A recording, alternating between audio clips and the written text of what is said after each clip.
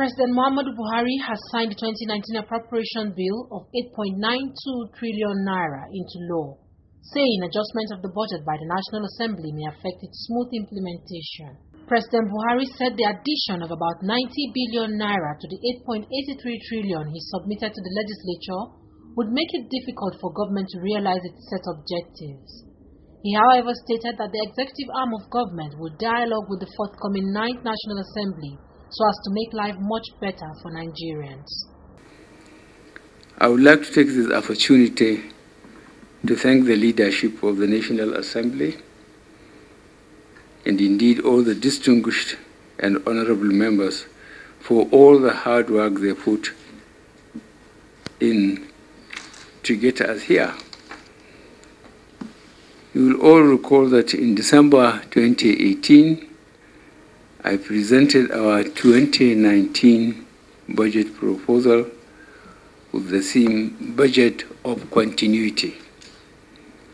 Our goal was to use this budget to move the economy further on the path of inclusive, diversified, and sustainable growth.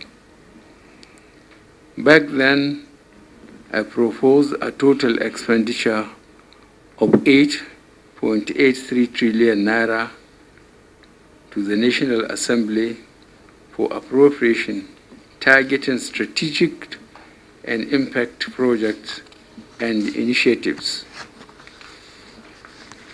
However, the 219 budget I will be signing into law today provides for aggregate expenditure of 8.92 trillion naira this is an increase of 90.33 billion naira over our submission.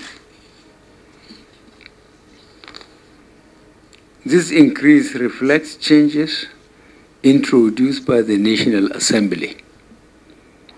In some areas, expenses we proposed were reduced, while in other areas, they were increased.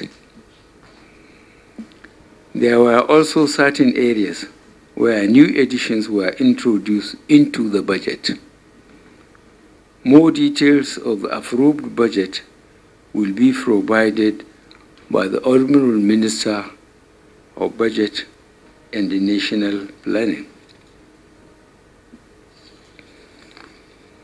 Of course, some of these changes will adversely impact our programs, making it difficult for us to achieve the objectives of the economic recovery and the growth plan. Although I will be signing this bill, it is my intention to continue to engage the National Assembly to ensure we deliver on our promises. I will therefore be engaging with the leadership of the Ninth National Assembly as soon as they emerge to address some of our concerns with the budget.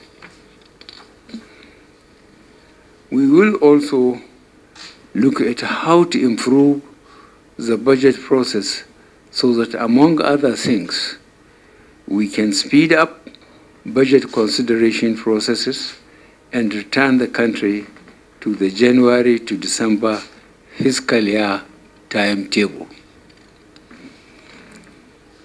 I wish to acknowledge the efforts of the Minister of Budget and National Planning, the Minister of Finance, the Budget Office of the Federation, and everyone who collaborated and worked painstakingly to produce the 2019 appropriation bill I am signing today.